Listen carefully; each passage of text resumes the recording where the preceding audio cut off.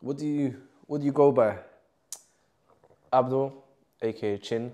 Chin is the main nickname. I can't lie. Okay. Been called Chin for since year seven. Why? How did you get that name? I didn't choose it, bro. you know when you make these little silly jokes as kids with each other, yeah, with your boys, Yeah. and it just sticks. So I remember, like, if I shave my beard, I got a pretty sharp chin, yeah. this is why the beard stays now, yeah. Okay. Okay. And in year seven, I remember having a little cussing match with my friends. We're cussing our features. Look at your ears, look at your this, look at that. And, and then one, one of my boys, he's still my boy now, one guy, I'm 11 years old, he said, Look at your chin. And it's a feature that no one noticed before. And everyone started laughing. Ever since then, for the next, what did I say, 18 years of my life. What are you saying, chin? but most people don't know this. This is something I'm actually opening up to now. Like I swear to God, I've never told people this. Oh, most people think it's, it's like, oh, do you knock people out and you bang them in the chin? I'm like, yeah, yeah, yeah, something like that. But it's nothing like that. No, that's funny. That's funny. Yeah, nicknames can stay. Exactly, Yeah, but they stay for time. Okay. Okay. So you're a you're a content creator. Would you? Is that your? I would like to say yeah, because there's not really a niche. Besides, if it's funny, I do it. Okay, that's a good way to look at it. Yeah. Because yeah. I don't, I don't, I don't just stick to like just Somali content or just hood content or just father. I kind of I mash it up. I even make gym content. I like I just I put all of it in under one bubble. If it's funny, I'm, I'm, I'm, I'm gonna make it. But to put yourself under one category, I find that too hard, bro. And it kind of like I feel like it limits me. Yeah. So speaking about that, is that is that a full time thing or is it part time or? always been a hobby. It's always been a hobby that I would like to do full time, mm. you know, but it's something. It's, it's something that comes with being a creative, if you know what I mean. If you have interest in making content, making anything, whether you make music or whatever, like, you can never stop doing it. There's been times I tried to take a break, and I, I still got the urge to make content. I think I'll just be, I'll always be doing it. No, that's good. That's good. So you kind of express your way in yourself in that way. Uh, bro, once I got an idea in my head, yeah, I have to, I have to, I have to write it down. I have to get out. Yeah. It doesn't feel good unless it's out. That idea has to come out. Okay, okay. And you working as well? Yeah, yeah, yeah. I work in a special needs school. Oh, nice, nice. Yeah. I've been working in uh, autistic schools for about six years now. Okay, right. Started off with the behavioural, then I shifted over to auti- uh, autistic school, and it's just something that grounds me. Yeah. Something that keeps me grounded. Something that I didn't realize I was actually good at. It's weird. And I have, I have, I have a soft spot for, for, for, for those in need. No, that's good. That's good. And is it? Would you say it's quite challenging then? Oh, definitely. It doesn't. It's not something everyone can do. Yeah. It takes people with a lot of patience, and I, I've been blessed to have a lot of patience. It takes people a lot of patience to deal with it because I'm dealing with young kids who struggle. Yeah. All levels of autism, like from from the severe, unable, those who are not able to speak, and they need your constant attention, to those who you might look at them, and they might not look autistic, but mentally they're suffering, and people don't understand them. And you got to be there for them. Yeah, no, it's true.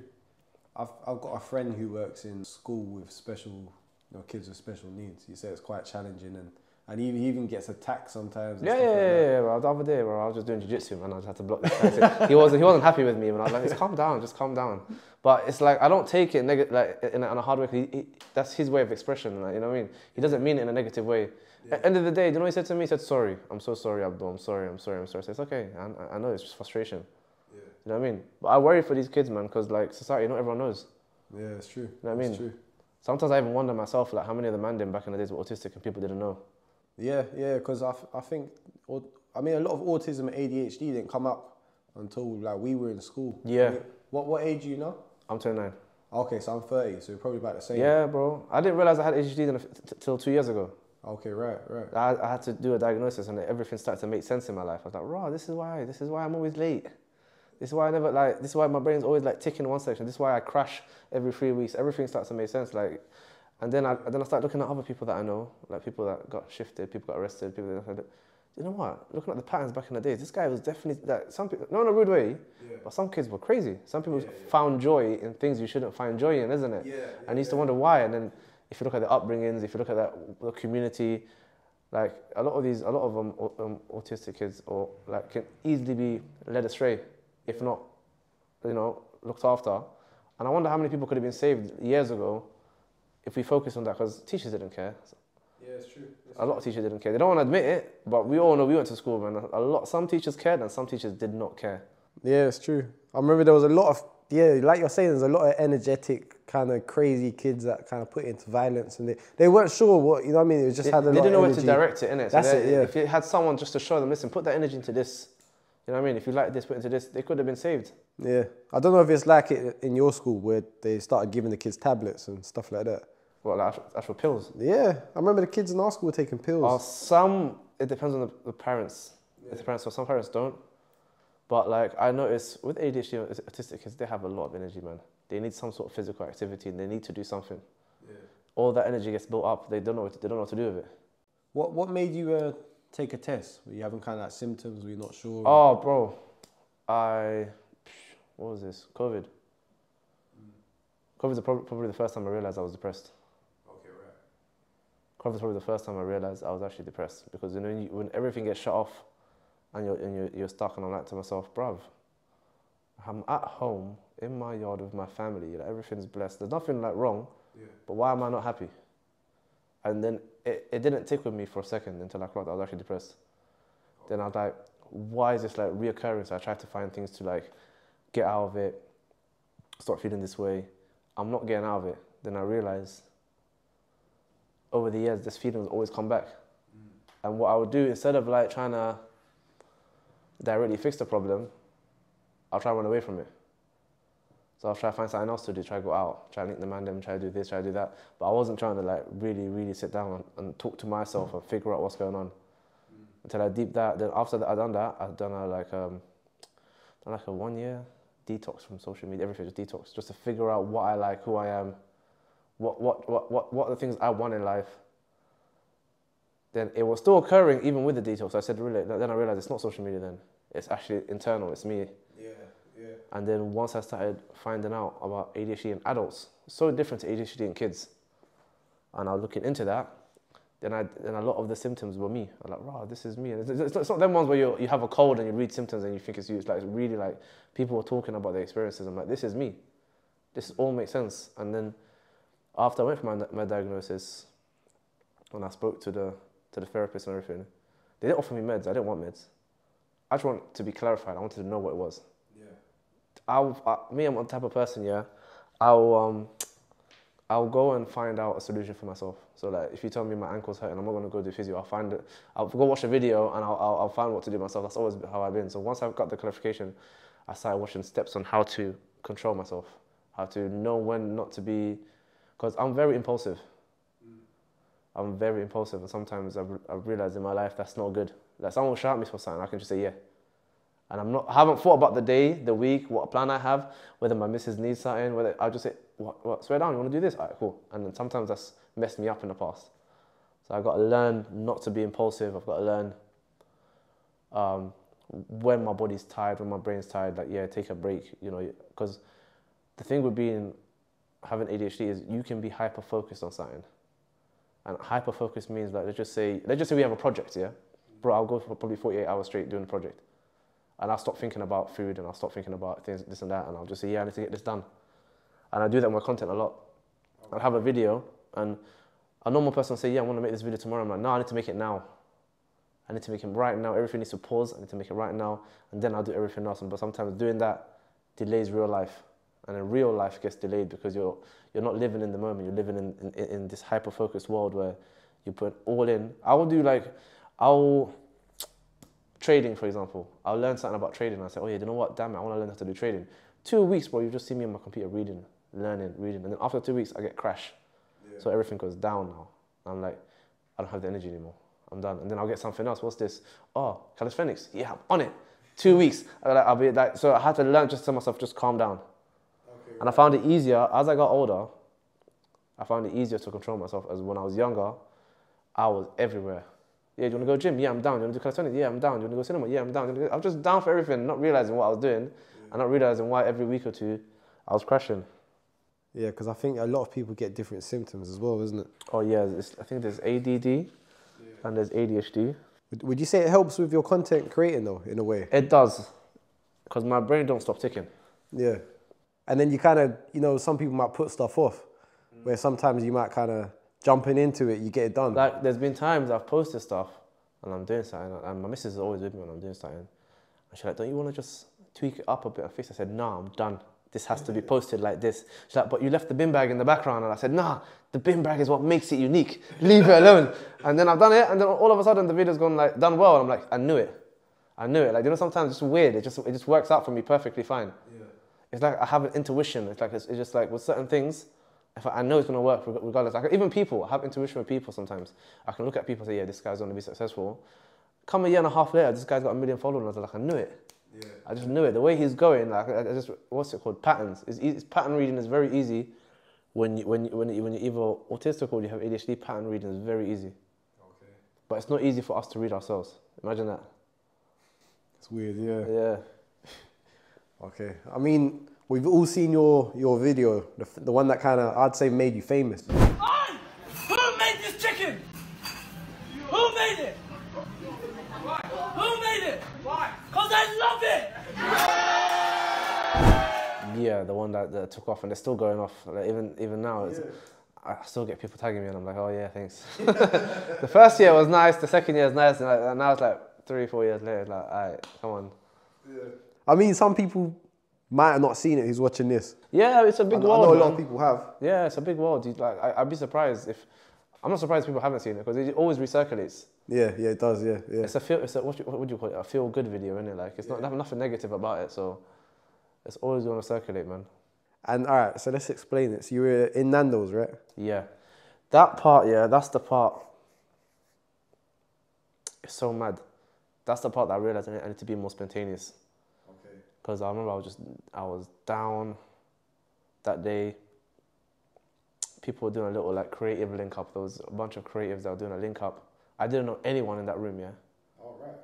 And I, I wasn't a photographer, I wasn't a videographer, I wasn't, and then I got to the link up and I realized all photographers and video um, videographers. I'm like, what am I doing here, bro? I thought it was like just people that wanted to make content. So I felt out of place. I didn't know what I was doing. I was just chilling. And then they said, you, then they said, guys, if you want to come, we're going to go Nando's. I was like, all right. By the way, I only knew one guy, the guy who, who was recording me. And I didn't even tell him the video idea. That's why sometimes being spontaneous is good. I just told him, whatever you do, don't stop recording. He goes, what are you going to do? I said, trust me, whatever you do, don't stop recording. So I was waiting for my chicken to get served. That's after that, there was a viral video with an American guy saying, who made this burger? So I was like, you know, let's make a UK version. Mm-hmm. After that, I, something just ticked. I just screamed at the top of my lungs, Oi! but I did not know whether the guy was gonna kick me out. The, like, that's the two things gonna happen here. Either this is gonna go very well, I'm getting banned, I'm getting kicked out, someone's calling police, and everyone's gonna tell me you're an idiot. You're, you're, you know, why are you doing that? Lucky for me, I was on the safe side. It went well. Everything about that video went well. Who made the chicken? Who made it? Why? You just hear, like, you hear someone in the kitchen scream, why? And I was so happy he said why because I was like, how many times I want to say who made it? Yeah, yeah, yeah. And I'm like, thank God he said why. Because I love it. And even the people that were doing, all the creatives behind me who didn't know me at the time, thought, generally at the end of the night, bro, I thought you were actually vexed. I thought you actually like flip the table or something. But the, no, the one thing that no one saw that was off camera was the security guard. there was, a, there was an uncle, security guard uncle, yeah, when I screamed, I thought he was going to come up to me. He left the store. He said, ah, I'm not dealing with this. he thought I was vexed. He fully left the store, bruv. But he came and realized I, I, I wasn't angry. He's like, ah, you confused me for a second. but it was that, that made me realize it's, it's, it's worth taking the risk because I posted that and I didn't think nothing of it of my life. I thought, I thought, yeah, I'm trying to post. Maybe my brothers might laugh. And some people are like, bro, I'm getting comments from I'm, in- international comments. Love from Iran, love from New Zealand. I saw your, a, a video in South Africa. Da-da-da-da. I was like, wow, is this how this thing works? That's when really ticked that. No, um, that was Instagram days, yeah. That's when it really clicked and made sense. I said, is it that easy to, to, to spread joy? So I mean, would you say that that's like a that was a big moment for you, a big That's, what, that's when it made sense. Yeah, yeah. That's when it definitely made sense. That's that's that's when I, it felt good to, to, to, to know that people found joy in my video. yeah. That's what it was. I, I never liked, and if you can see my content, I don't like to do any sort of negative, hate, attacking. If it's not positive, if it's not funny, I don't like to make it. It's got to have a little joke to it. It's got to have a little twist to it. But I don't. I'm not here to, to bring anyone down because well, there's enough hate in the world, man. We all need to something like oh, the last thing you want someone to do is pull out their phone and see something that that, that, that, that makes them feel vexed or makes them feel angry, innit? Mm. I'd rather I'd rather you pull out your phone and you laugh a little or smile a little. Do you know how many views that got, roughly? Boy, it's so many different platforms posted it. I lost track. I swear to God. And even when it get, even when it, when it reoccurred, I remember TikTok when I posted it on Twitter first. These days, Twitter was like the main app before Instagram was a, Insta was a bit down there, and there was no TikTok these days. Yeah, I, I, I posted it on Twitter first, and it, and it hit like just over 20 million. 20 million. Yeah. Wow. That's a lot of views. Then my my Instagram blew up as well from it. Like I, I, I turned on my phone, I went from like 600 followers to 10k overnight. Wow. And, th- and this was this was this was like three or four years ago. Where it was hard, Yeah, yeah. really like hard to get followers because the algorithm wasn't really. It was a really weird way back in the days, isn't it? Yeah. And then when I got TikTok, I posted it, and that helped my TikTok as well. Mm. But now, it's weird because now when you get attached to one thing, you're trying to drift off it. Yeah, that everyone remembers you for. Yeah. Who made that chicken? Yeah, yeah, yeah. No, I I understand that. But I mean, yeah, like you said, it's a, it's a feel good, you know, video. I, I hope to make another one like that. Well, at least at least one or one or two more, just like that. But that one that one was so spontaneous. That was one of the. It was too natural. No one knew besides me. So like it's hard to make something so like if you see most videos now where people try to make it natural, it's all acting in it. You'll see a video of someone trying to do a prank and then it's like ugh, this, you can tell ev- who's an actor and who's not. And that's what that's what cringes me out sometimes. It's gimmicky, isn't it? Yeah, and I'm not I'm not a fan of that. No, I get that. I do I do get a lot of restaurants like messaging me saying, "Hey, do you want to come to our restaurant and remake that video?" And for the last three years, I said no, Why? Because it's not it's not remakeable, bro. It, I'll tell you right now, and for everyone watching, it will be utterly cringe if I do it again. It won't be the, it will never have the same atmosphere in it. Like it, it just won't be the same. That was so unique at the time. It's not something. There's there's something. I've seen a lot of people do this. Yeah, I've seen that, and in not in the UK, but that happens a lot in America, where somebody goes viral for one thing.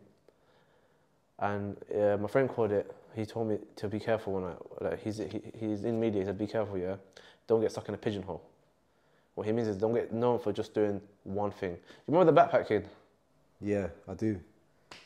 Was he doing that dance, isn't it? Yeah. And they rinsed him out Yeah. to the point where now he tries to do something else. It's like it's not really working now because you're just known for that. You're the backpack kid. Yeah. Yeah, no, I get you. That's and, true. and I never wanted to be like known for just one thing.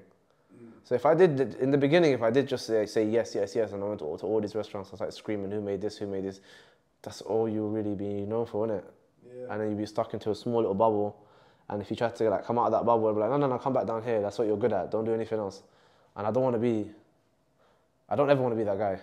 I think a lot of people would wouldn't hesitate to just you know take a quick paycheck and, and but like you said, I'm, I'm sure I'm they'll thinking, get caught. uh, I'm thinking longevity, man. I'm thinking, like, you know, this game, this social media game, this. A lot of people think short term, but it's actually long term as well. Like we're young, yeah. We're this generation of social media people. We, matter of fact, you know, people. A lot of people don't deep this, bro. We're going to be the first generation. Is probably going to have people in their 40s and 50s on social media. Yeah. That when we get older, there's going to be con- content creators who are 50 years old. That we, we don't see them now, but we're going to be that generation, isn't it? Yeah, no, it's true. It's true. So talking about content, how would you describe your content, or what's your what's your target audience, or who is it? Um, target audience for me, I do a lot of family, fitness, husband and wife, kids related content. So if you're in that category where you're a dad, or you, you're in, you, you like family content, or you like your little, you know, jokes about gym content, that's me. So you do a bit of everything, innit? I bit of everything. I think I did see stuff about yeah, gym, um, ethnicity, religion, Yeah, even even ADHD. I think I saw a Yeah, post yeah, on that as well, which is good. So you're quite you're quite diverse in I try to be as diverse as I can. yeah. Okay, no, that's good. That's good. Nothing nothing with the man then? Nothing with the with the guys. See, before I used to, Yeah. But when it comes to making content, you got to work what you what you have. A lot of my time is spent with my family, Yeah. and, and if I don't, I'm either at the gym. These are the two places where really I- I'm at. Like if I, do see my boys, it's so spontaneous. There's no time to plan something. But like most of my boys are parents as well. It's weird. parents? They're parents. They're parents too. Like they're dads as well. Oh. Like most of my oh, boys have kids, so like we all have responsibilities. So it's not like I have a group of seven single guys who who just chill every day. It's not like most of my guys are, are literally dads. So it's if you someone, for example, like you, when it comes to social media, the best my, my best advice for people is work with what you have. If you're someone who's in the office a lot, then go on make your content about that because then that's what you have. That's what you have to use around you, and it's it's easier to make content best, based on that. If you're someone who spends a lot of time in the gym, like me, then it's easier to make content in the gym because you're going to spend a lot of the time there. Or if you're with your family a lot, then try your best to make content with them or around them because then it just makes your life a lot easier. There's no point in me going to make gaming content because I don't game every day. You get me? And if I do game, there's no point of me recording myself because like my kid might cry in the background and make it hard. Yeah, no, it's true. It's true. How, how often you go in gym? Anything between three, four, or five times a week. Though you find it hard to fit in because you got. It's my piece, man. Yeah. It's it's it's the only time that like it's, it's the only time that's it, it's about me. All right. Okay. You know what I mean? Like it's not it's, it's not just about the misses or the kids or the bills or I'm doing this for mum, I'm doing this for my grandma. It's the only time where I'm, I'm working on myself. So I feel like it's really important for anyone to have a moment of their day where you're really working for yourself. So everything that I do in that in that room is for me. But it's not just for me, it's also, it benefits me so I'm able, I'm in a good place mentally, physically, to then further help everyone around me. That's a good way to look at That's it. That's how I would look at it, man. Like, if I want to live till, if, God gives me like life, long life here, and I'm able to be 60, 70, I meet guys in my gym, they're 60, 70, and they've been going healthy, like natural. They look good and they look healthy. They're physically able to move. And I'm like, yeah, I want to be like that. I want to be able to move and healthy so that my kids don't have to worry about me too much when I'm older. You know what I mean? And I'm able to help as well. So it's, it's, it's a long journey. It's hard. I can't lie. Sometimes I don't want to go. Sometimes I just want to chill. But in the long run, it benefits my family.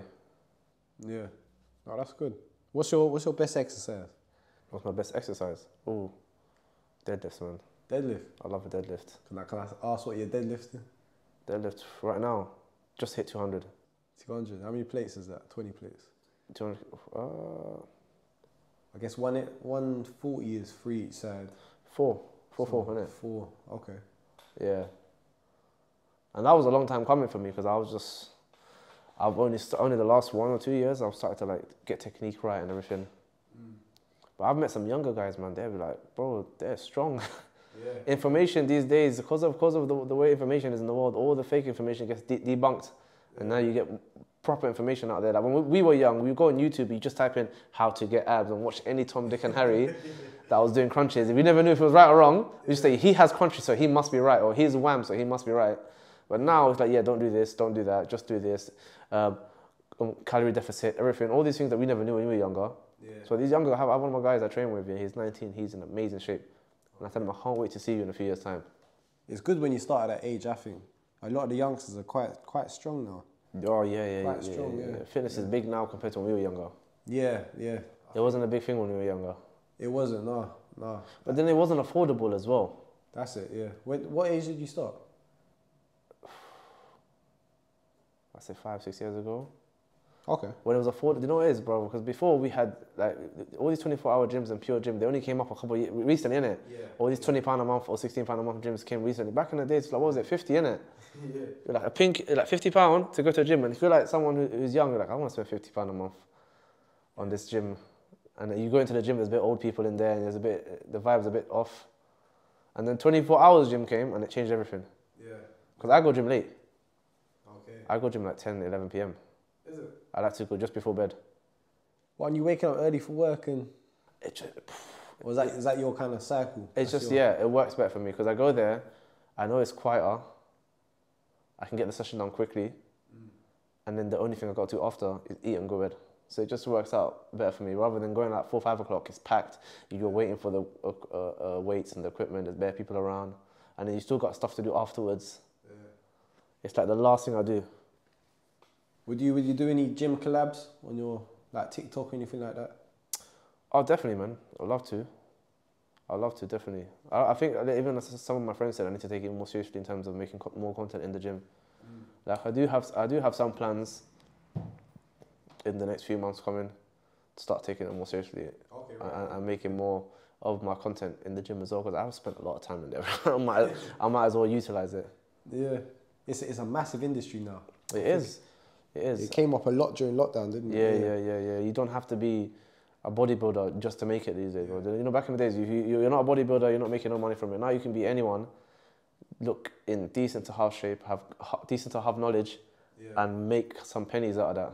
Yeah, as, as long as you're you're influential, I think people are watching your stuff and they're taking notes and they, you know, what I mean, they take you in. Then, Yeah, yeah, then yeah, yeah, yeah. hundred percent. You'll you'll go far in the gym. You know what I mean? Would you say you're you're religious? Yeah, I think I think my, definitely, it means a lot to me. Okay. But religion is very personal to me. Yeah. That's why I try not to make any religious content. Can I ask what what religion? Uh, Muslim. Okay. So Islam is my religion. But the reason why I choose not to make any religious content is because I don't want to be misleading. I don't want to portray myself in any way that I feel like isn't me, which doesn't necessarily mean like I might, I might share a, bit, a, a, snap, I might share something, I might share something personally, but I don't want to get into the making content only for like you know when people start posting or talking constantly about it. That's not for me, man. I think religion is very personal. It's a personal connection between me and God. And it works, I realize for me personally, it works better that way when I keep it that way. Yeah. Because then when it goes out and it becomes something I'm trying to talk too much about, then I feel like my intentions are not pure. Am I doing it because I want to? Am I doing it because I want, I want views? You know what I mean? Okay, I understand. Am I being religious for myself or am I being, am I being religious to get more followers? So I don't want to get into that. That world is a bit complicated for me and I'd rather just stay out of it. Yeah, fair enough. Yeah. And you're a, you're a family man, Yeah. wife and kids. Wife and four kids. Wow. Yeah, bro. Busy guy. Busy guy. And, you're 29. 29. What what age did you get married and what age did you? I got married at eight, uh, just turned 19. My missus was 18. I just, yeah. That's nice, man. That's nice. So we've been married for 10 years. Yeah. Has it been smooth sailing? Is Oh, no, is it's marriage never. easy? Marriage, psh, no.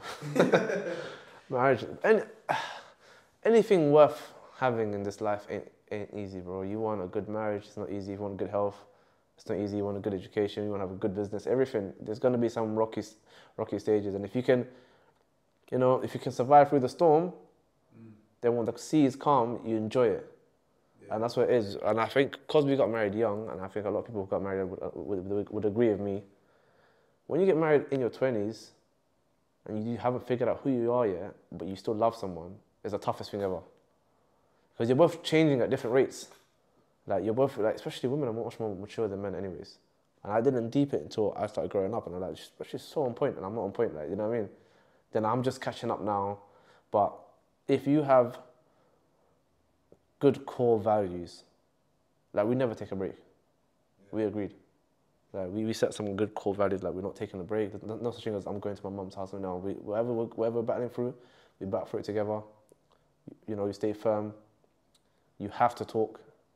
It doesn't go more than two days of silence in my, like when we're together. Like, no, no, what's going on now? Pattern up. What's, what, like, we have to talk. Otherwise, when you let that stuff run for long, you don't even remember why you're angry in the first place. Other things start. I don't know. Like what's it called? A snowball effect. You start. You you throw a snowball down, it just gets bigger and bigger and bigger. And that's the same with your problems in your in relationships. If you don't address it straight away, more just adds on to it. You get annoyed because he didn't throw the rubbish, or he's speaking to me this, or why are you staying up? Why are you sleeping on the sofa? Why are you doing that? And then next thing you know, that person is just irrit- ir- um, annoying to you and irritating you, and you forget. You forget all the things, all the good things you've done for each other, and you're all focusing too much on the, on the tiny ones, little little problems, isn't it? Yeah, no, I, I get that. Would you say Would you say marriage changed you as a as, as a man or as a person? Definitely. Because you don't just think of yourself anymore. And then kids change you even. Kids is another level. Marriage is like your your your your happiness. You have to be. Look, I used to think before she has to make me happy, but it's not like that. I need to make myself happy. She needs to make herself happy, and then we enjoy it together. If I focus on her making me happy, and she focuses on me making her happy, what happens when I'm down and she's down and we ain't got no energy? Then you start blaming each other. You weren't there for me. Where were you? Like, can't you see that I'm in a bad mood? Why are you not caring? Like, you know what I mean? Like, some, you're a human being, bro. Sometimes you crash as well. You get tired. You get this. You've had a long week of work, or maybe your family have given you, um, maybe you have family issues as well, and one side might not have family issues, or vice versa. You just have to make sure you focus on yourself. I learned a lot about making sure I'm good, so that when I enter the home, I'm bringing positivity. I'm not entering the home with no negativity, no headache, and she, she her vice versa. Like she has to come with same energy. Whatever's happened here, here, we leave it there and we just enjoy our time together. But when you have kids, though, that's another level. What what age did you become a father? 20. Twenty. Okay, so Yeah. one year into marriage. 20 was my first one, 29. It was just literally a few weeks ago was my fourth one. When?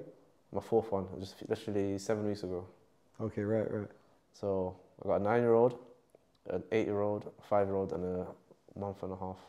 Wow, wow. So what? How did that change you as a? My first born as a daughter, she changed my perspective for everything. Because you know what? I, I never had any sisters growing up. Yeah, just me and my two brothers. Yeah, I never had any female cousins I was close to. I My my, my family is very male orientated, so my perception of women was very typical. Like I wasn't a bad person in terms of like I hated them. I just had a very typical perception of women. Like, um, my mum was a tough woman, African woman. You know how they are, tough, very tough, which made me tough as well. But when I had my daughter, I unlocked a soft side of myself I never knew I had. I never knew I could love or be that soft to a human being like I am to my daughter. My daughter knows me too well. She'll come up to me right now and ask for something. I don't know how she patterns it out of me. She'll find a way to pattern out of me. I, can't, I, I don't know what it is, but then it just, even my perspective of women now, because of her, has changed. Like, I, like you, when you have a daughter, you just, you just value them so differently because you realize you watch them grow up and develop and you, I know one day she'll be a mother, mother hopefully inshallah and I know like she'll be a grown woman and I just want her to have the things I never had but also when you have boys it's like, like I have sons as well so like with my daughter I'm soft and relaxed. Oh yeah don't, don't worry darling daddy. My boys get up man. Toughen up. Get up. No I'm not having this. You know what I mean? You're, you're a bit more you're a bit more I don't want you to, to, to, to, to get hurt or to get nothing in life. I need you to be strong. I need to be tough. But with her I want someone to be there to protect. I want you to be tough, but I also need you to, to, to make sure you see the, the mistakes of and flaws of men that other women can't see. I want her to know all this, and my boys, I'm like, "Say you need to be tough, you need to protect your sister. Oh, don't worry, darling, I'll be there, I'll be there for you. So it's, it's, it's a weird, it's a weird thing, man. It's a weird thing having having boys and girls, well, one girl and three boys It's a weird question, but is it kind of scary being a father in, in this all day the and time. age? I think it's if you come from a household where you didn't grow up with your dad, or you never had a dad in your life. And my dad was in my life. I didn't grow up with my dad. My parents were divorced when I was young, yeah. So I didn't grow up with my dad. It's and me and my brothers have discussed this. In like, um, I have a younger brother. He's got two boys as well. And we were, t- we were talking the other day, and I was like, "Do you find because dad was never like we never lived with dad, we didn't we didn't know how to be a dad in the household. Mm. Like I used to go see my dad. I could see my dad whenever I want. I could speak to him, everything, but he wasn't in the house Yeah. which means like when I was younger and I was being cheeky, I could get away with stuff. You know what I mean? And, and it made me realize how how much of a difference it is literally having your dad at home. And it made me realize at, the beginning stage I didn't know what to do. I kind of done everything. Like I thought, do, do I do I give them everything? Do I stop? Where's the limit? Like, am I being too nice? Am I being too strict? Because you have no perception of it. Like, I have a perception of my mum. My mum's always been in my life. I knew, and, and when it came to like, bro, like if, if my missus says me, ask me to help, I, yeah, I can cook and clean and help, and then I'll do that every, every day because I see my mum do it. Yeah. But then the, the the assertiveness of being a dad, I didn't know what, what the level was. Yeah. So I didn't know whether I was being too strict, I didn't know if I was being too soft. And sometimes you got to take a step back and, you know, it's good to have a, a you know, good brother I can talk to, and some friends who are dads. We all talk about this stuff as well. Like I ask my friends who are dads who have their dad around, like, how is it like you being a dad? And I know we just have the discussion, but it's a real eye opener. And I'm sure everyone who didn't grow up with their dad probably feel the same way. Because I have some friend, I have a friend who never grew up with his dad. He feels the same way. He's like, yeah, it's like you've been thrown into the deep end. You just don't know what to do, and you're learning as you go. You're never wrong, but you're never right. Yeah, no, I understand. You said your your mum and dad divorced at a young age. Yeah, yeah. yeah. Um, I was about ten. Okay, right. You you kind of remember everything. Oh yeah, I remember. Uh, uh, my brothers, I remember everything. Yeah, yeah. yeah. Yeah. What what was it like growing up for you? As in like, just in general, like where you lived. Embarrassing Okay. because it was like a taboo innit, in the culture. Oh right, right. Like divorce was like a big taboo in the culture. Now it's everyone you hear it uh, like it's like it's normal news now. Yeah. In it, but back then it was like a taboo, and then I remember when my brethren used to ask me, "Where's your dad?" I'm like, I used to lie and say, "Yeah, he works abroad," mm. because I just couldn't just own up and say that he doesn't live here. Mm. Where where did you grow up? Is it West London as well? Uh, Acton, then then Bush. oh right, right. And what was the area like? Rough. Acton was rough back then. I went to Acton High School, bro. That was Acton High School what, in 2005 to 2010. It was rough back then, bro. Yeah, I can imagine. You don't want to be, you don't want to be lacking anywhere by yourself. Like these kids now, they think they think like okay, stuff goes on now, but stuff has been going on for hundred years. Uh, half the stuff that's going on now is nothing new to what was going on before. The only difference is back then people could get away with stuff. Like back then you get robbed, and then you see the same guy robbing you walking down the street smiling. Like it'll be that, and you, there's nothing you can do about it. Yeah. Now someone gets caught on CCTV, it's done for. Like yeah, oh, police might catch him in the next day or two because they got all the footage. They don't even they don't need, they don't need witnesses now. They got all the cameras. They identified him. They seen him. You match the description. Boom. Back then, people don't want to snitch. This guy in your estate will rob you, and you can't snitch because he, he lives in your estate and you can't say nothing. You know what I mean? Like little dumb things will happen. Yeah, Acton was tough back then. The new Acton now, it looks beautiful. Yeah. You know, it's like I don't know if you, if you, I don't know where you live, but you know all these new buildings that have been coming up, bro. Yeah, they've knocked down the hot, like eighty percent of the council estate, and put all these brand new buildings. It's not the same Acton, man. Yeah, definitely. Um, so Shepherd's Bush, they've got the Westfields there, don't they? Yeah, I guess that, that, changed, was that, changed, that changed everything. yeah. Is that where you kind of went growing up and stuff like that? Bro, I went to Bush Market before Westwood. Alright, I yeah, yeah. yeah, before Westwood, we used to go Bush Market, man. Remember those Lot Twenty Nine tracksuits? Yeah, yeah. That's where I used to cop them from, bro. Bush Market. I remember E Day, I come out with my Lot 29 trackie. I was so happy, bro. Like, these kids don't know. They have no idea, bro. Uh, Bush Market, but Bush was different back then. Bush was majority Caribbean area. Same with Acton.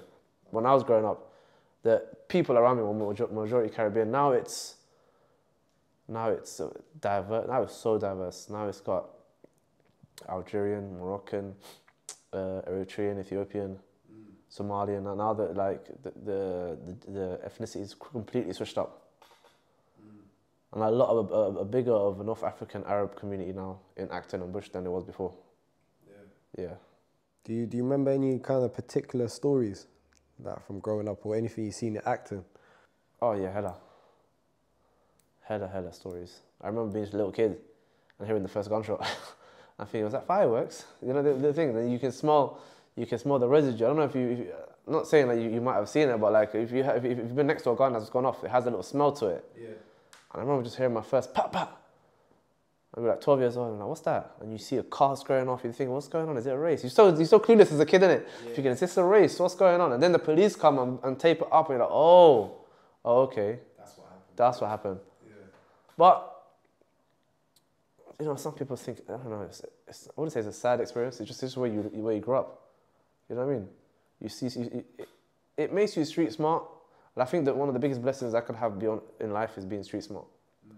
I'm so happy I'm street smart. I'm so happy I had this kind of experiences where I can kind of see or smell out danger from a distance. Where some people can be so oblivious to it. Like you see people get robbed every day, and I'm like, how did you not notice this guy was following you for ten minutes? Rather me, head for like even when I was on my way here, I'm like, okay, I don't know this area, so let me turn my music off and let me pay attention to my surroundings because I don't know where I am. I'm by myself. Let me put my phone in my pocket and let me just walk properly.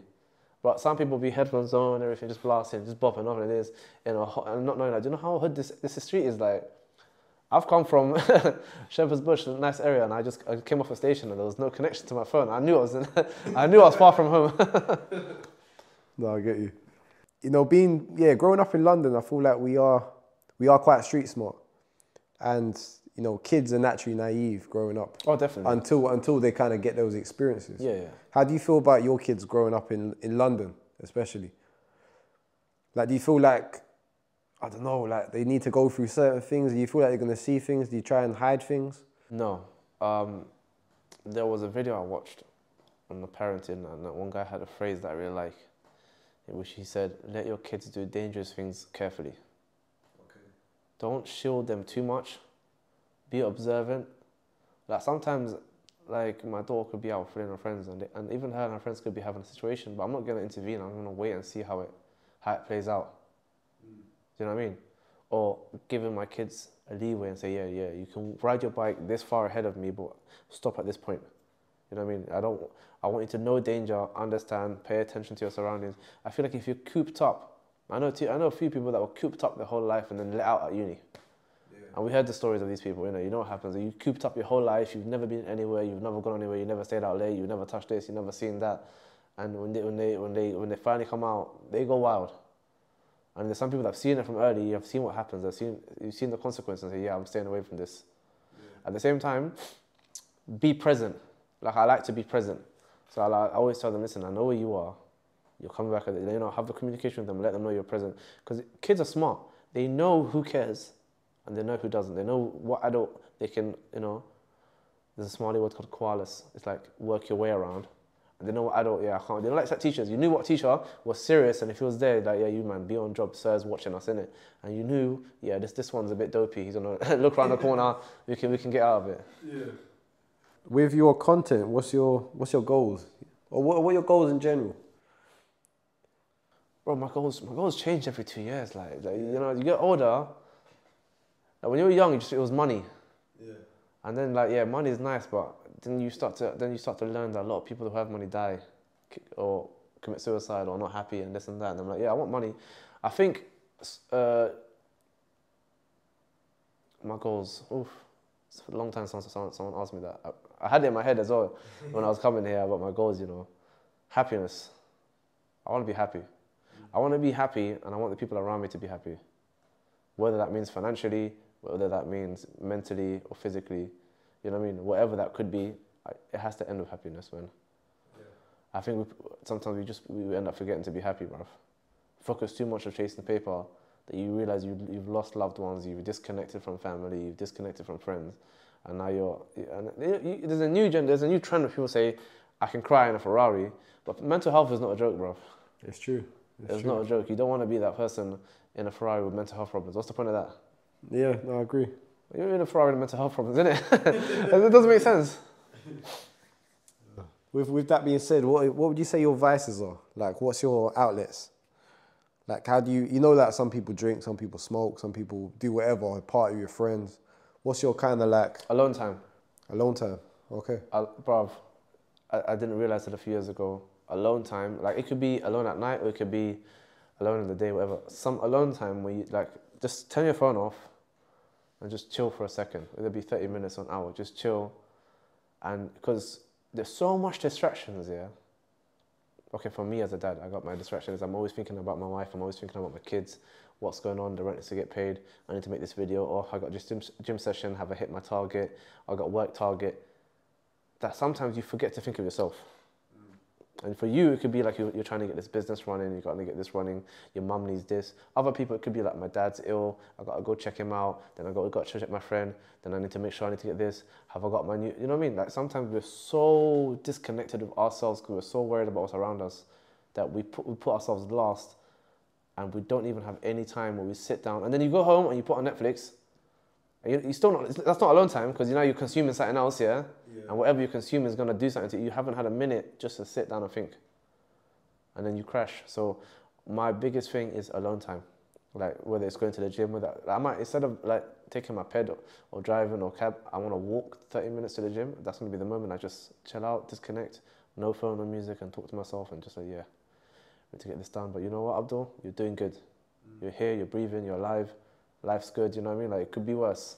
You got to always remind yourself it could be worse. There's always someone else in a worse situation than you. Yeah. No, I think it, yeah, de- it's definitely good to be grateful in life and kind of you know take moments out for yourself and realize You realize do, you do, man. You, you- people get too comfortable. Like even when you show your brethren, yeah, if you show your brethren constantly, you start to be worry about being by yourself. Mm. But if you can't even enjoy your own company, it's that's that's a, that's a bad thing. That's true. I think I think a lot of people would you would you say they're scared to be alone? A Yeah. lot of people. That's why they search. That's why they're chasing love or chasing. Like even me, I'm married, bro. And I tell people if you haven't learned to love yourself yet, don't go chase marriage or chase love. If you haven't loved yourself and enjoying your own company for a minute, you can't because then you're gonna be so dependent on that person that you're gonna put so much pressure on them. It's not gonna work out. I'm sure, I'm sure a couple. I'm sure you. I don't know if you like. You heard stories of crazy exes, didn't you? Like you heard these people that just they're like, "Where you going?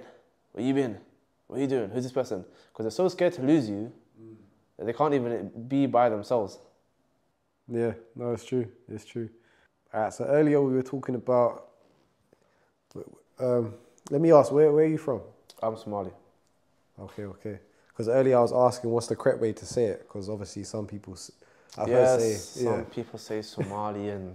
the word that don't exist. Don't don't say Somalian to a Somali. That's the worst thing you can say. It's just so. It sounds so weird. It's Somali. You're Somali. We are, we are Somali. We speak Somali.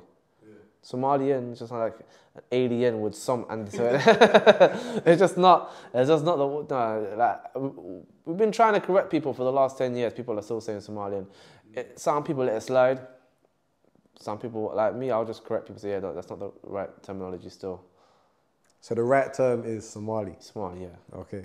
And the country is Somalia. Somalia. But I'm from Somaliland. Okay. That's when it gets complicated now Yeah. because the country is actually divided. Okay. So it's two separate countries or? Yeah, two different separate governments. And by the way, I never knew this until I got to year seven. my whole life, I was like, yeah, Somalia, Somalia, Somalia. And then my dad corrected me. I'm like, wait, what? Yeah, there's two separate governments due to when they were colonized. One side was colonized by Italy, other was colonized by Britain, which is Somaliland. And yeah, same language, same culture, same people, just different governments. Um, people from Somali or Somaliland, would they classify as black? That's where it gets tricky. Okay. because the whole classifying yourself as black thing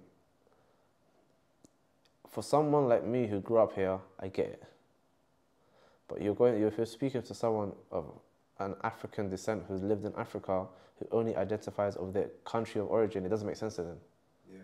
because if you go and speak to an African, and African speak to another African, that eh, okay, Africa ninety percent black. You're not gonna say to them, "Where are you from?" I'm black. No, they all state the country they're from. It wasn't until I came here that when you're applying for stuff, you know, what are you, black African, black? That's that's where that's where it derives from. And then I, just, me personally, I think to myself, all right, cool, black African. That's that's the only thing that's here. That's what I'm gonna take. That's what I'm gonna say. I wouldn't say I don't identify as black because that's a bit silly but I can see why historically people don't want to be seen as just as a color. I feel like if you're from Caribbean descent, African descent, that should be where you're, where you're stating first. You know what I mean? Like the, the, the, the color thing is a bit low because it's more of an American flex. It's not really of a British flex. Brit- Britain, like when you come over here, you, you are British Somalian, British Ghanaian, you know what I mean? British Jamaican. Like they will always put your country next to it. We never used to say British black. Yeah, yeah. I agree. Yeah. We never really said British black, bro. British, the whole black thing came from this whole American culture that we kind of like took in here, and everyone started saying you're black. Because m- more, time people knew where they were from, and unfortunately for the um, African Americans, unfortunately due to slavery, they don't know where they're from, so that's why they stick to black American, you know, black African American. Yeah. So some people, I mean, it's a complicated world these days. You have, you have to you have to be respectful to how people want to identify as. If someone does not want to be identified as black, I guess you just got to respect it. And a, a lot, a lot, a lot of Africans and a lot of Somalians don't want to be just known as a color. Yeah. They want you to like, you, like I'm, I'm from Somalia. Please say I'm Somali. Yeah. You know what I mean? I think that's fair enough. I think that's fair enough. Yeah. Yeah. I hope, I hope that makes sense. It does. Yeah. Yeah. Definitely. But then some people t- take it very personal, and then there's like this race war. Like, if, I don't know. I don't know if you've been on TikTok lately. Like there's bare race wars, man, between the, the I want to say it, the black community, whether you're African or Caribbean. There's a lot of race wars now, like of like where you from. No, this person's ugly. This person, bruv, it's so toxic. It's so toxic and it's unhealthy. And me personally, I stay away from that side of TikTok. I don't get involved in it because if you're getting involved in it, what happens? And what you see happen is you can have an, you can have an, like you right now, you can have an innocent mind, yeah. You haven't been involved in the situation. You open up TikTok, you see a, a, a Somalian or East African person slandering. What country you from, bro? Sorry. Uh, Jamaica. So sl- slandering Jamaicans. Naturally, you're gonna get angry. And then what it does is TikTok um, algorithm is gonna throw bare other Malis at you, or bare other Somali people who are doing the same thing. That's how the algorithm works. So now you, in your head, you're like, oh, I've just seen 10 Somalis cussing Jamaicans. They must all hate Jamaicans. Oh, I see. And then what happens yeah. on our side is we get the opposite. We get all the videos of the uh, of the West Africans and Jamaicans cussing Somalis. Because I remember I was taking on one video, and then the next video was someone else cussing Somalis, and the next video was someone else. And then what it does is in your head you start to think they must all hate Somalis, and then you fall for that trap. Yeah. So it's kind of feeding you a, a prejudice. Yes. Yeah, And then you fall for that trap because bro, I grew up in bro, I grew up in Acton, West London. I grew up in Bush. Like I used to joke around with my Caribbean Caribbean brethren, but we never had beef like that. We were Somalis and Caribbeans, like we never had beef like that. But then you would hear stories of other people, maybe the older generation, maybe the first Somalis that came up here, telling us it was tough for them because people never used to identify them as black. I've had a lot of stories of the older, like the ones who are in their 40s now, saying, yeah, when we were in school, they tell us we're not black. So they used to say, all right, cool, we're not black. And then they used to say Somali. But it, obviously, that got washed out in my generation. But it's coming back again now. Because I don't, I, don't, I don't know if you, do you, do you remember hearing that when you were younger? No, I mean to be honest, I think where I grew up was it was different ethnicities, but we didn't have too much. But I of- didn't, I didn't, I, I, me growing up, I never had that issue. yeah, I never had an issue with one of my Caribbean brethren, like, we started arguing about race and colour and stuff. We never had that issue. Yeah. We knew we were black, and then they was like, where are you from? Somalia, Jamaica, Ghana, Nigeria. It was like, you know what I mean? But the way the internet is giving so much energy to it, it's toxic. it's making it negative. It's yeah. very negative, man. That's not good at all. and and a lot of kids are on TikTok, aren't they? Exactly. Yeah. So now they're feeding into it and they're seeing adults talking about this subject that they never even thought about. Mm. And you're causing, you're causing a division within a, for me, it's a division within a community of the same people. Would you say there's quite a negative side to the internet as well? Definitely, man. Definitely. It's like a library, bro. You, you, you go in, you can get to the dark side you can get information on things that you, you like, that's disgusting, disturbing. And then there's the side you can actually benefit from. There's information that could, could do you good. It could be like, you know what I mean? You can get books on some dis- disturbing stuff. Same with the internet. You can watch videos on disturbing stuff. TikTok's algorithm compared to like Instagram. Instagram, okay, like Instagram, there might be a video and it, there'll be a little thing saying explicit video. Are you sure you want to watch? You know what I mean? You don't get that on TikTok. You just swipe and you see. You ain't got a choice. and sometimes you, you might even not want it. So you're like, yeah, let me just. I've tried to fix my algorithm by liking other stuff, and they're still dashing it my way. so there's no way you can avoid it. I think sometimes you need a detox from it. You need to t- sometimes just put your phone away and talk to people in real life, man. Do you do you let your kids go on social media? Do they, do they have TikTok and? Not yet. No, no, no. no. Okay, right. You try to kind of. Working in a school and seeing how kids who have been exposed to it at early age behave compared to the kids who don't, I wouldn't. I wouldn't advise any, any parent. Until Those- until what age? Until they're teenagers, at least. Until, until their brain development is at, is at a certain age where like, they can really identify what's the real world and what's not. Like, the same way we watch a video, you, you can tell like this person's putting up a front. Kids can't. Kids can't tell that. Yeah, like you're talking about the pranks. Yeah. Yeah, pranks or even like um, you have internet personalities. You get people that have a persona online. It's not their real life persona. It's just how they act online. Kids think that's real life. Yeah, and then they start picking up on these things and they start behaving like it and they start, you know. I wouldn't, I wouldn't. I, I, I, it's hard, man. I've seen kids grow up too fast, bro. You get like these eight, ten year old kids, little boys, bro, then they think they're grown men now. Yeah. You know what I mean? Talking about stuff about women that you're like, bro, you're not even mentally ready. Like your, your, your body hasn't caught, caught up with your brain. You're talking about stuff, but you're not even, they're talking about stuff and they're not even aroused by it. They're just talking because they hear that's what the man them are saying. Yeah. You know yeah. what I mean? And then you get the opposite with the girls. The girls are now wanting to wear stuff and dress a certain way because they think this is how you have to dress. There was a video the other day on TikTok of this guy asking the girl, like, um, how old she was. She was 15. And I, by, I swear to God, she's at least 22 because of the makeup and what she was wearing. And it's, it's scary to think, like, kids don't want to be kids anymore. Kids want to be older. Yeah, taking away the, the innocence and the youth. Yeah, so you go, it's all going, it's, it's from going young. away, man. So I would advise, like, let your kids be kids, man. I wouldn't want to give my kids social media yet. That's too much information for them to handle. It can go from them watching like a funny video to something about racism, then politics, then this, then that, and that. that's too much for them to handle. So me personally, no, not yet. No, fair enough. Yeah. When we're talking about kind of identifying as, obviously you you work in a school. Yeah. There's that that thing that's going on. There are a lot of kids, you know, talking about, you know, LGBTQ plus, and are they talking about identification or, or not? Not yeah, really. yeah, yeah, yeah. They are. They are. It is a stick. It's a, it's a, it's a s- um, sticky subject because you're working in an autistic school, so you don't want to be misleading at the same time. Yeah, Yeah. I personally would respect whatever, whatever the parents say. You know, they're still they're not adults. They're still under the, their parents' care. So if the parents are saying like, "Oh, we don't want to speak about this," then I'm like, "All right, cool." If the parents are saying, "Yeah, we're trying to provide help for him so he can identify himself as this," I said, "All right, cool." Whatever the parents saying, uh, then respect it. that's that's that's as far as I go. But I'm not gonna put my personal agenda onto someone else's child. Yeah, no, fair enough, fair enough. But I mean, um, if you don't mind me asking, do you feel like kids kind of know what they want or what, what they want to Kids are very easily influenced. Kids are kids are like puppies. And puppies, if you raise a puppy to be a, a, a, a vicious dog, and you praise him every time he bites and chews and, and, and, and kills something, the puppy will think it's a good thing. So kids are like, if you praise a kid on anything, whether that's negative or positive, it can uh, it can affect their future. So if you're raising a kid to go punch people up, and you tell your son every time, yeah, well done, you punched him up, well done. What's he gonna be like when he's an adult? He's gonna think he has to punch every man up. Yeah. Rather, you're raising a kid to be outspoken and gentle, then they're gonna be like that. So if you're if you're telling your kid, no, you know, we hate all LGBTQ people. I don't like them, evil. da, da, da," Then what are they gonna believe? They won't even have a thought for themselves. They're gonna say, yeah, dad must be right or mum must be right. Or if you're saying the opposite, saying anyone who doesn't agree with this is is evil. You know what?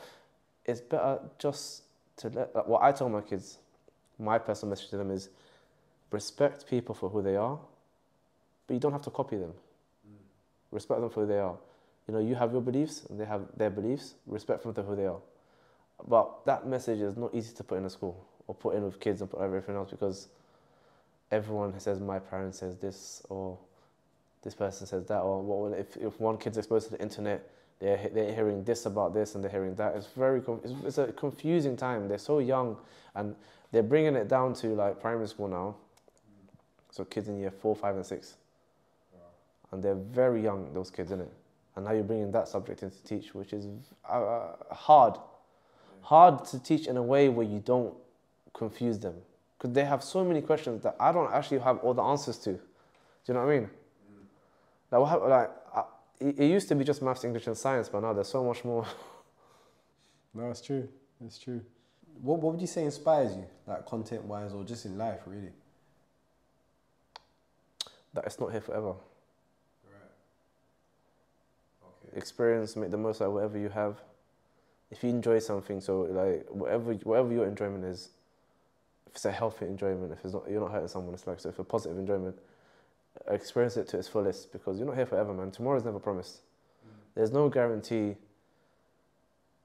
that you're gonna wake up tomorrow. There's no guarantee that this I'll see anyone tomorrow. In my household, what I tell my wife and kids is, no matter what, we end on we end the night on a good note. Whether I, whether I shouted at my daughter, whether she shouted at her brother, whether I had an argument with my wife, we end on a, we end on a good note because there's no guarantee I'm gonna wake up tomorrow. So my what keeps me going is, do you as much as you can right now on this day today, whatever hour I have left, because there's no guarantee in it, and it, that keeps me going. So every time I wake up, I'm like, yeah, cool, I got another chance to do more. Then I got another chance to do more. Then I got another chance to do more, and I'm gonna keep going. Whether I'm 70, I, but we say 70, but half of us might not even reach 70. Some of us might go at 40 or 50. You know what I mean? Some of us go at 30. So it just it's just not thinking that I'm gonna be. I'm not. I'm not. I'm, I'm never see 100. How many people actually get to see 100? You know what I mean? So doing the most in whatever I have. No, that's good. That's good. And what would you say to someone that's inspiring to be a content creator? Oh, go for it, man. Go for it. It doesn't matter.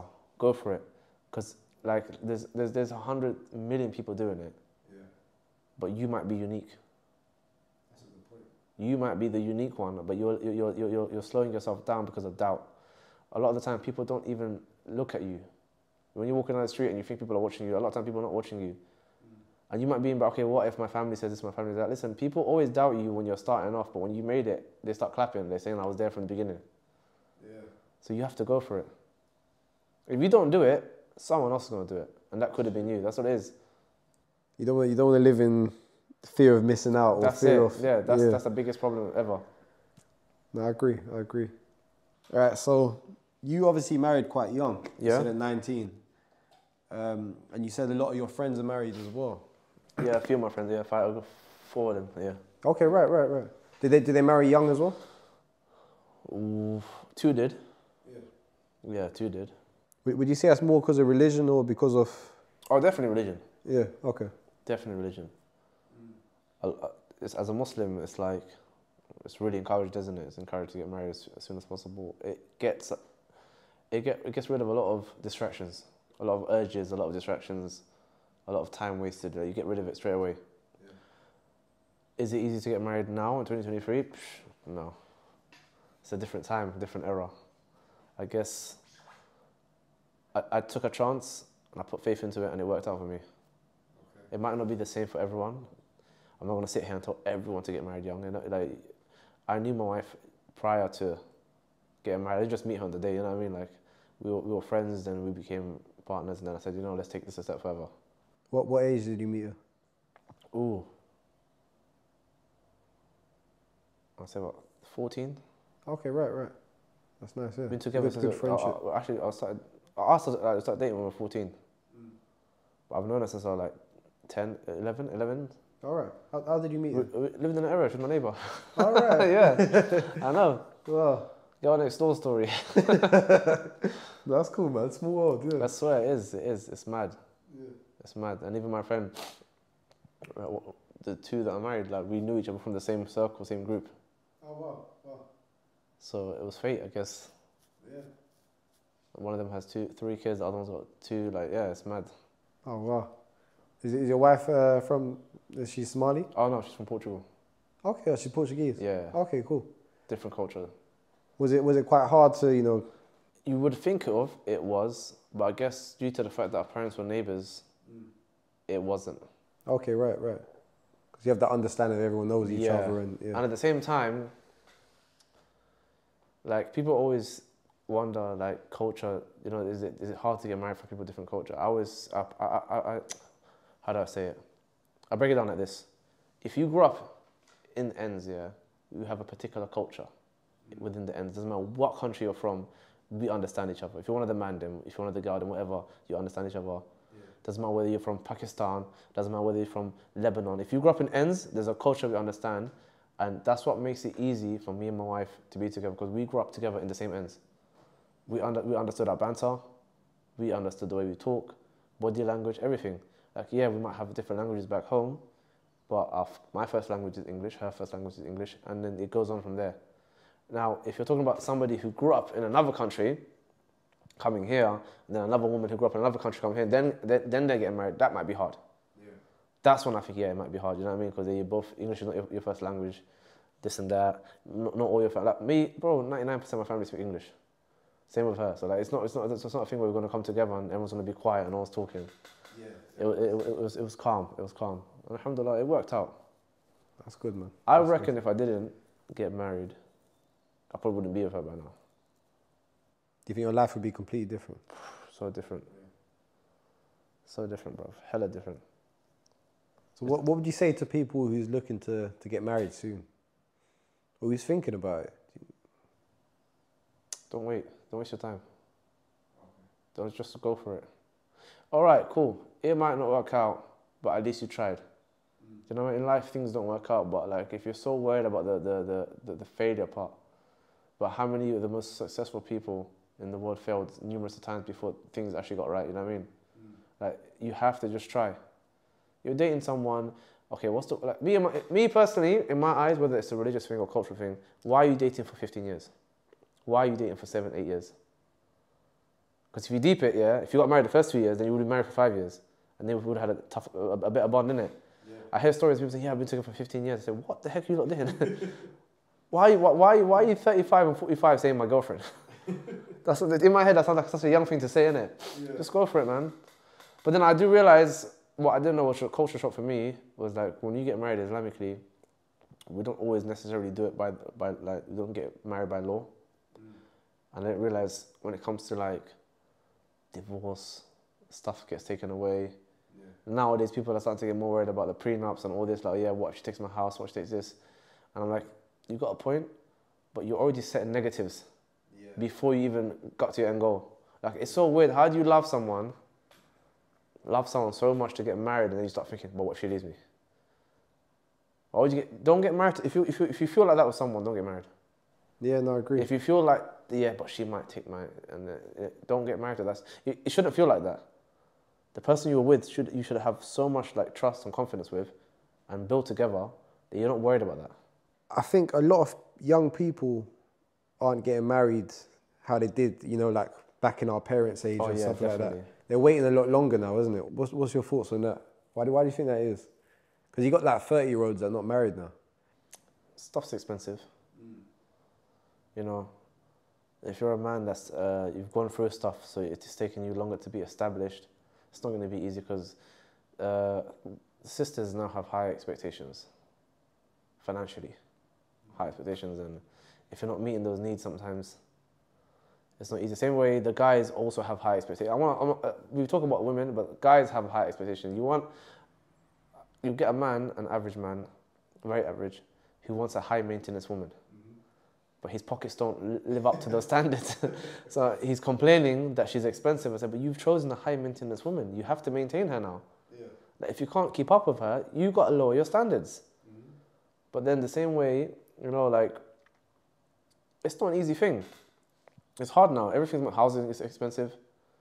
Even if you want to rent, yeah, in London, yeah, you, you, you just want to rent a house. The average the guarantor has to earn is about 60k. If you're a first class immigrant here, no one in your family is earning 60k yet. You might be the only one earning it, but you don't know anyone else in your family earning 60k. So then what do you do? You're stuck. And you can't enter the council because the council's like, wait, you earn 40k, we're not helping you. So you, council's not helping you. The rent is too much. What, do- what do people do? They end up leaving. Like it's too much, and then some people delay it, some people don't. It's fate.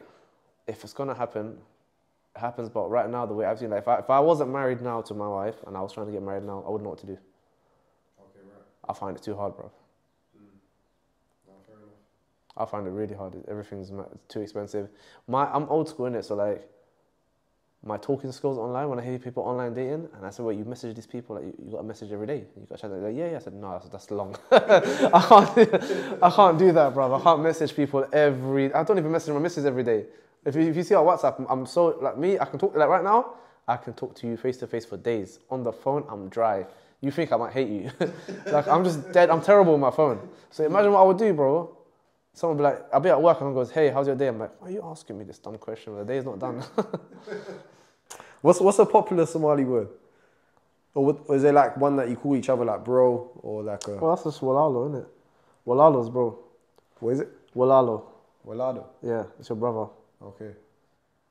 But then there's one word that my that's my favorite word, bro. Finesse. You know how to say finesse? Koalas. Koalas. Don't, you, do, you don't want to get koalas, bro, in the ends. In the trust me, like, a lot of the man will koalas you, bro. I thought that was slang. Isn't is it from Somali culture and Somali Som- language? Oh right, right.